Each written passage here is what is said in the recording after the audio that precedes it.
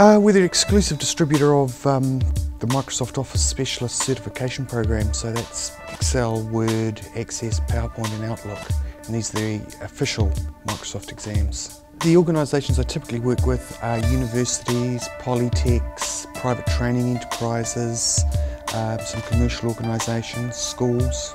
The exams are electronically distributed, um, electronically administered and electronically marked and then the results are uploaded to a central a secure central worldwide database. But as an example how the whole sort of process works, um, you might have a um, school and they may the pupils may be learning how to use Excel for a term. The teacher or school will contact me and I will um, electronically deliver to the school um, enough electronic vouchers that will allow them to sit that many exams.